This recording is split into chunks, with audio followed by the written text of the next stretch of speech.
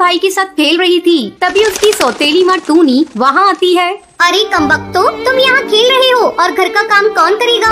मैं कोई काम नहीं करूँगा। सुबह से तो काम ही कर रहे थे। जरा सा खेलने के आ गया तुम तो चिल्लाने लगी।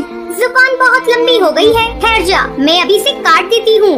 गोलू की सौतेली माँ उसे पीटने लगती है। तभी पिंकी चिड़िया एक बड़ा सा पत्थर उठाकर अपनी सौतेली माँ पर फेंक देती है, जिससे तबकर उसकी सौतेली माँ की मौत हो जाती है। ये देखकर दोनों भाई बहन डर कर वहाँ से भाग जाते हैं। तभी उसे घोंसले में रोशनी दिखाई देती है। गोलू, वो देख, घोंसले में रोशनी दिखाई दे रही है। अगर भोजन मिल जाता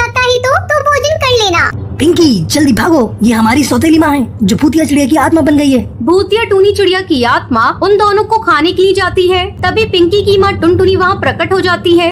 बच्चों तुम दोनों को डरने की कोई ज़रूरत नहीं। अब मैं इस भूतिया चिड़िया की आत्मा को सबक सिखाती हूँ। असली माँ टुन टुनी चिड़िया से टूनी चिड़िया की आत्मा को मार डालती है।